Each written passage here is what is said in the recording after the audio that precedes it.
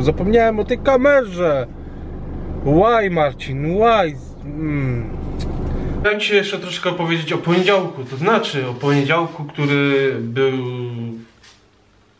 Nie teraz ten poniedziałek, tylko jeszcze poprzedni, to znaczy... Hmm. Teraz Wam powiem, który to był dokładnie. Oh my god.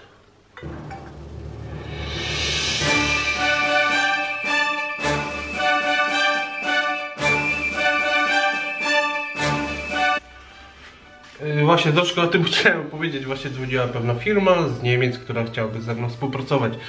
Taki telefonów mam yy, co jakiś czas. A, a mam takie telefony co jakiś czas, ale wracając do poniedziałek, po to był 15, była sobota, 16, 17. Gdy wracałem z Warszawy, miałem jeszcze spotkanie. No właśnie, wychodziłem z hotelu rano. Teraz zobaczcie sobie.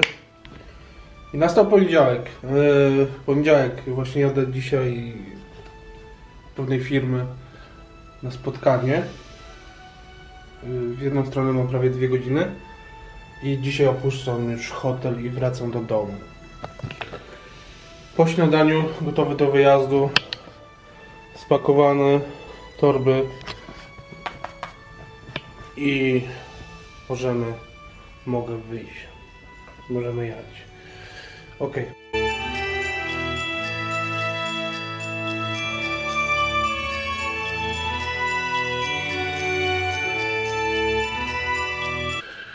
I później jechałem na spotkanie z klientem do Ostrołęki. Z firmą, która chce ze mną współpracować. I miałem to jeszcze nad Warszawę, było tam chyba dwie godziny jazdy.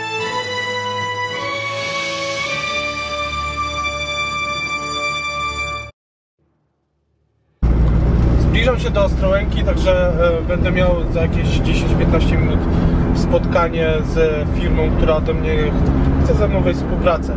Zobaczymy jak, jak to pójdzie, zobaczymy coś z tego będzie, ale, ale trzeba próbować, trzeba się spotykać, trzeba rozmawiać, to jest bardzo ważne, aby e, spróbować, bo tak naprawdę nie wiemy co w sytuacji, gdy nie pojedziemy, gdy się nie spotkamy, czy by coś z tego nie było. Nie, no nie dowiemy się. Trzeba próbować. Trzeba próbować, próbować, próbować, próbować. I cisnąć! Dojechałem, jestem już na miejscu. Niestety nie zabieram Was, ponieważ to spotkanie jest ści- ściśle tajne. Hm, tak. Dlaczego? Dlaczego to robię? Dlaczego to robię? Dlatego, że inwestując swój czas w tej chwili, może się okazać, że za jakiś czas będę dostarczał te towary klientom bez montażu i to spowoduje, że będę miał więcej czasu dla siebie dla rodziny i na robienie innych ważnych rzeczy. Już po spotkaniu dosyć pozytywnie, e, fajni ludzie. Zobaczymy, coś może z tego będzie, może nie, ale warto jest próbować.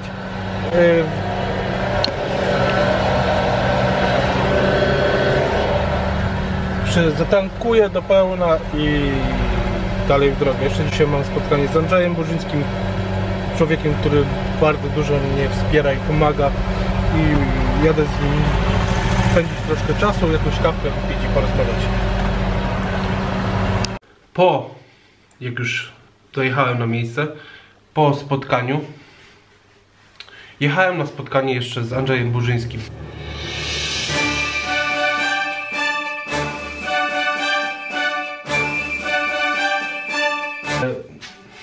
Oczywiście nic nie nagrałem, bo, bo rozmawialiśmy chyba z dwie godziny, jak nie trzy, nie pamiętam już.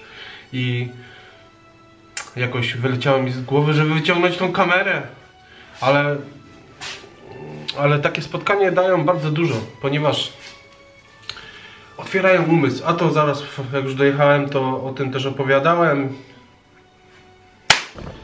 Dojechałem na spotkanie z Andrzejem, E, także wypijemy jakąś wspólną kawkę, pogadamy i, i tyle. Także idę na tą kawkę. Staram się coś nagrać mądrego i korzystnego dla Was i pożytecznego.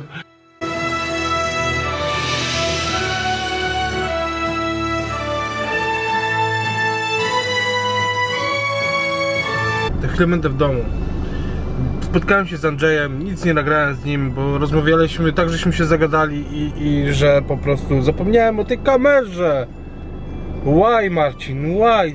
Mm. Ale do meritum.